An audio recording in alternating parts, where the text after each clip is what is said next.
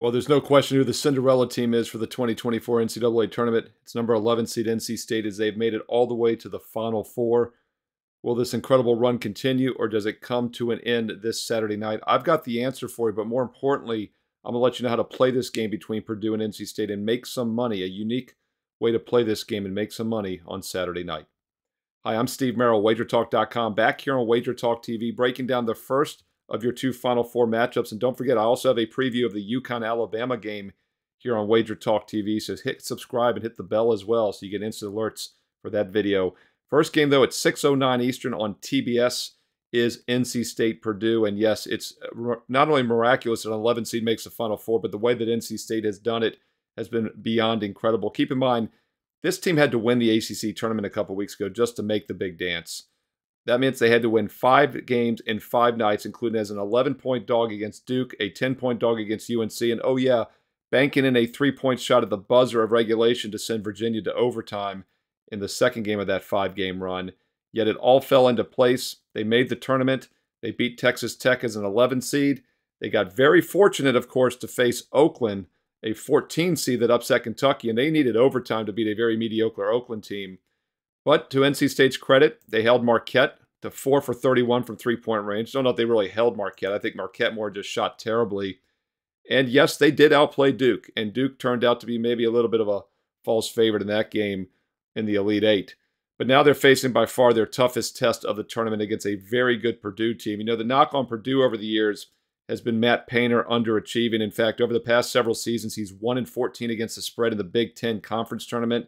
The past three seasons, he has been eliminated by a double digit seed. And how ironic it could happen again because this is the only double digit seed remaining. I don't think it does, though. And Purdue has a couple matchup edges in this game. Now, they're nine point favorites, so winning straight up obviously is not a very bold call. In fact, if you look at the money line, the Wager Talk Live odds screen, you'll see they're minus 450 to win straight up. That's over an 80% chance. Winning by more than nine, though, could be a different story. But I think the best way to play this game is actually to look at the NC State team total under 68 and a half. And there's a couple reasons why, which I'm going to give you here. First of all, both teams played a very moderate pace. So neither team is fast. They're both very moderate pace. This will have a half court atmosphere to it, new arena as well. So this first game of the Final Four, I think the shooting, the outside shooting could be at a bit of a disadvantage. And NC State is not a team that takes a lot of three-point shots. In fact, out of 362 Division One teams, they rank 283rd with only 33% of their shot attempts coming from beyond the arc. They get a lot of their points down low. Of course, they have big man, 6'9 graduate student DJ Burns Jr.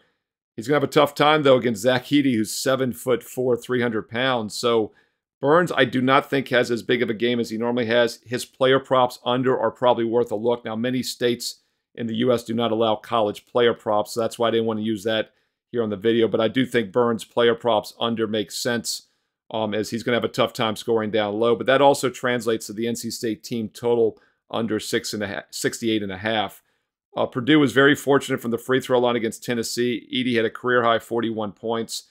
Um, a lot of those calls were questionable, so I'm not sure he's going to get the same officiating bias that he did in the Elite Eight. Something to keep an eye on. Um, but once again, his defense, though, should be very strong and just putting his arms up if you saw him cut down the net after the Elite Eight win over Tennessee, he didn't need the ladder. He can basically touch the rim with a pair of scissors.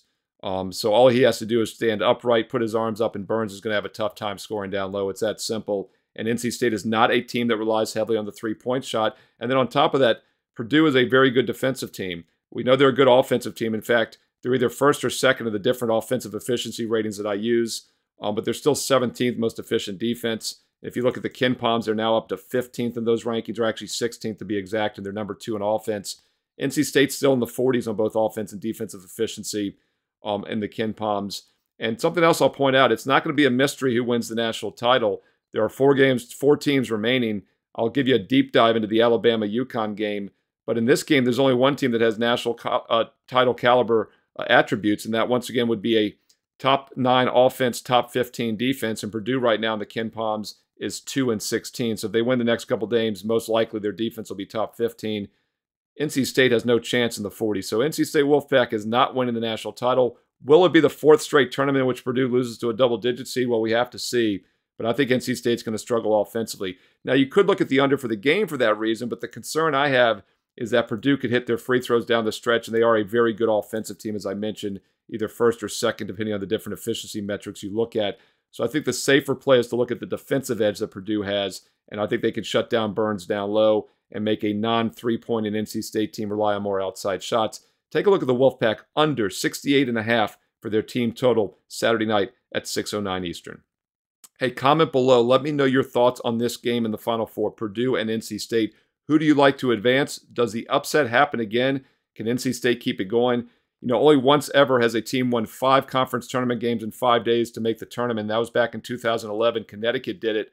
And oh, by the way, they went on to win the national championship. Now, a little bit different. UConn was a three seed that year. Keep that in mind. Um, NC State an 11 seed.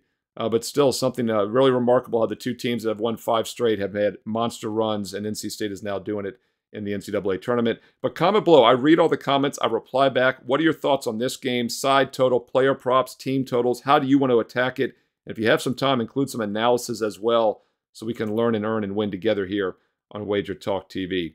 I know we're talking college hoops, but don't forget about the NBA. I am number one all time on NBA sides in the history of wagertalk.com. And once again this season, I'm ranked number one. In fact, as I do this video midweek, I'm 55 and 35 on all my NBA sides, 61% winners this year, up over 66 and a half units of profit.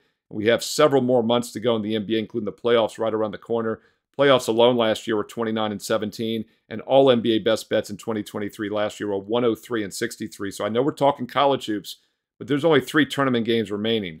There's a ton of NBA, several hundred NBA games to go, and I've got a very special promo code for this video. Get the rest of the NBA season, including the finals, the playoffs through the finals, for just $219. That's just over $2.5 a day for the rest of the NBA season. But you got to have a promo code, and that promo code's on this video only NBA 219. Once again, NBA 219. NBA 219 gets you the rest of the NBA season, including the playoffs and finals, for just $219.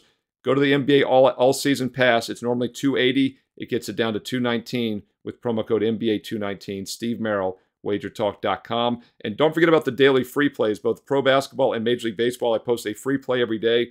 Baseball this season to start at 5 and 1. The only loss, a 6 4 blown lead in the ninth inning. Otherwise, we have a 6 0 start to the baseball season.